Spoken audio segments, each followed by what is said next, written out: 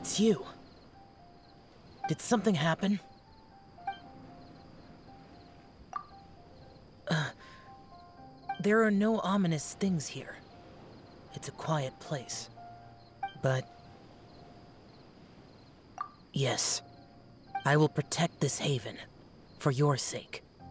I know that I can never have a peaceful and carefree life. Still, your kindness is accepted. It's you. Did something happen? Uh, idle chatter?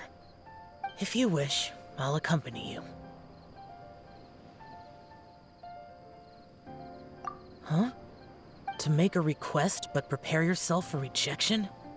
Human interaction really is troublesome. Generally, I don't partake in activities like chatting.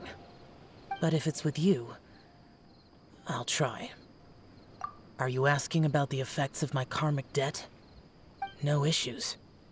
It is of my own doing, so I alone will bear the consequences. I don't know if it's related to you, but recently, the pain from my karmic debt has been less excruciating. It's much easier to bear than before. As for any excess concerns, best to leave that for yourself. It's you. Did something happen? Today? Forget it. It's nothing. Good night.